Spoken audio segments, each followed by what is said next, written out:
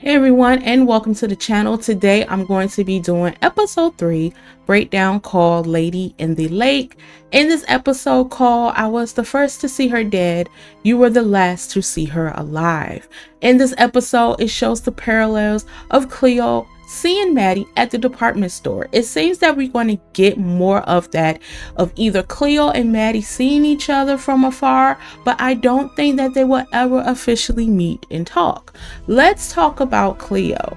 In this episode, it shows a flashback to 1948 where Cleo was a little girl. She hears the argument between her mother and father arguing about how Alvin lost his saxophone in a gamble and how he owes someone some money. Cleo tries to help her dad by giving him money from her savings and giving him a number to play so he can win big. And Cleo was on the mark with that number, but unfortunately, the dad took the money and left his family.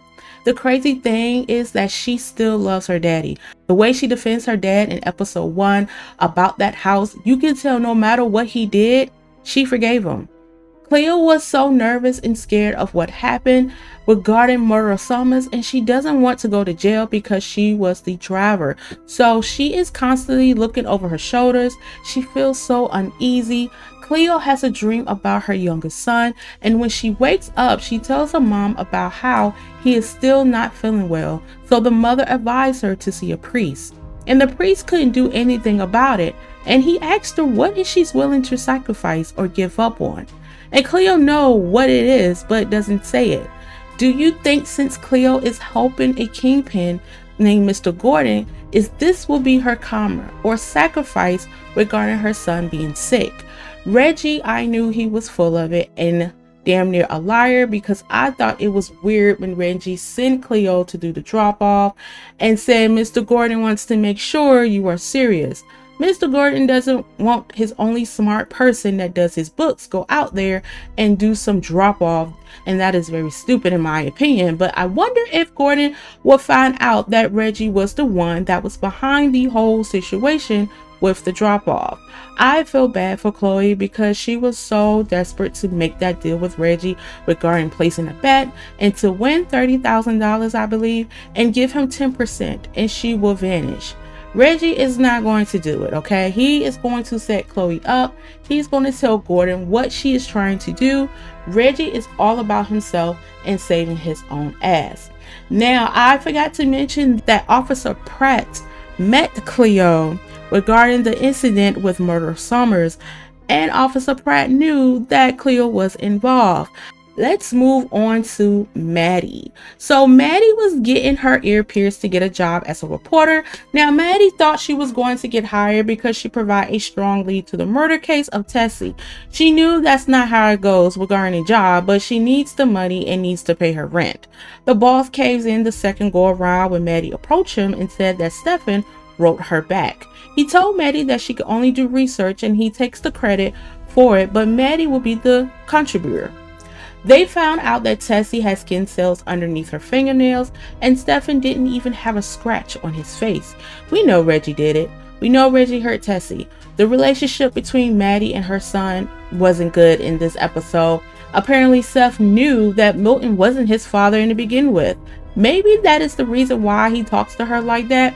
But let's be honest, um, I still don't feel bad for him. He still need his butt whooped. The way that he was acting out and cussing and all that stuff to me that was unnecessary. I do get his perspective regarding that how maddie didn't tell him what was going on and especially when she decided to pack her stuff up and leave and that made him even more mad.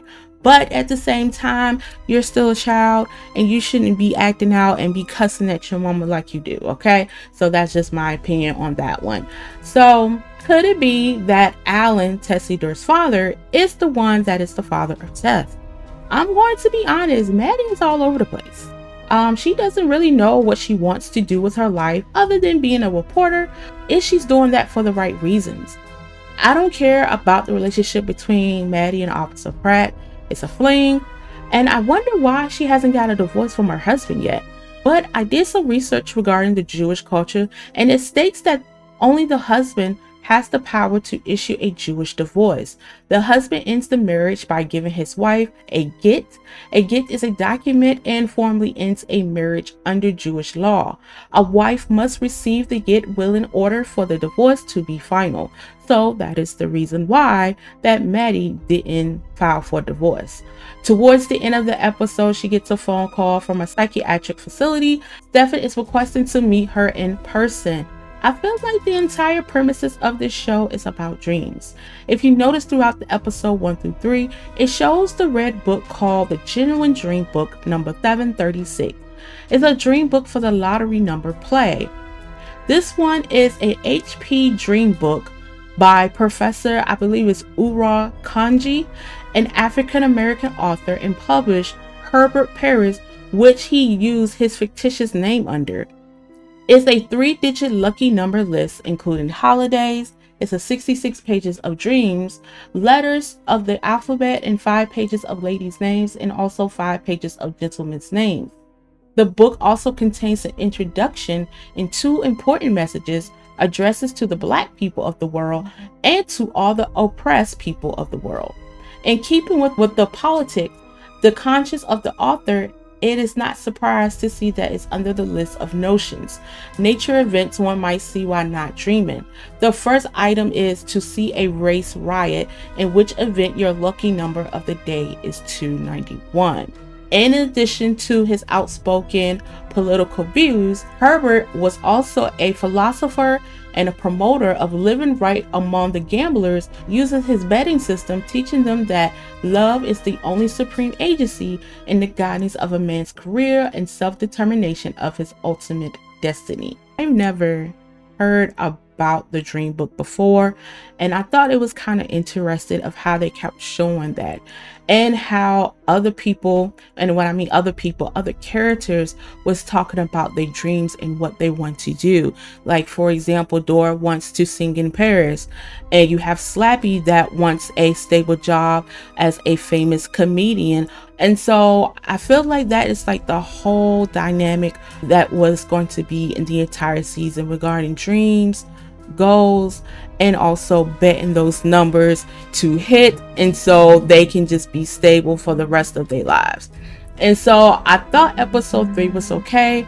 Looking forward to the next episode. Also, make sure you check out my review for Domino Day. This is going to be the final episode 6. I have a lot of thoughts about it. Just make sure you check out the video. Thank you so much for watching my channel. Make sure you like and subscribe. And until then, see you later.